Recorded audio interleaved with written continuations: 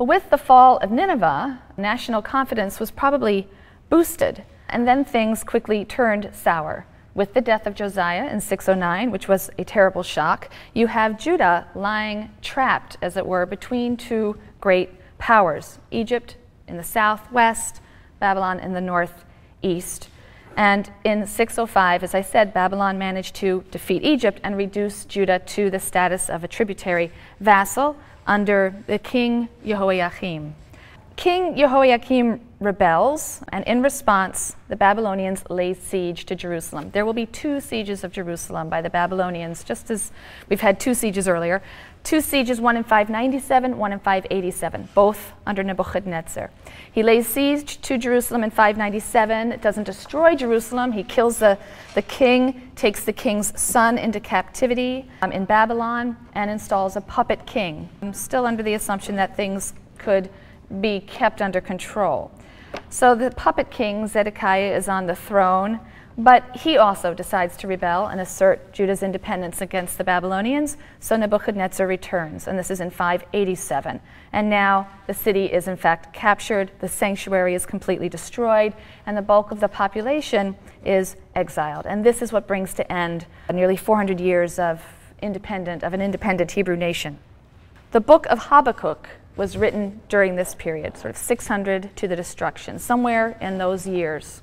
That's the period in which the Babylonians attacked Jerusalem twice.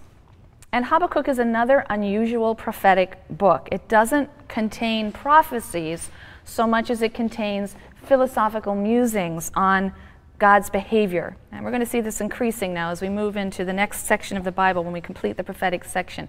We'll be encountering writings of very different genres, and some of them do contain these philosophical musings on God's conduct. Habakkuk 1 and 2 are a kind of poetic dialogue between the prophet and Yahweh. And the prophet complains bitterly about God's inaction. Verses 2 and 3 of the first chapter. How long, O Lord, shall I cry out and you not listen? Shall I shout to you violence and you not save?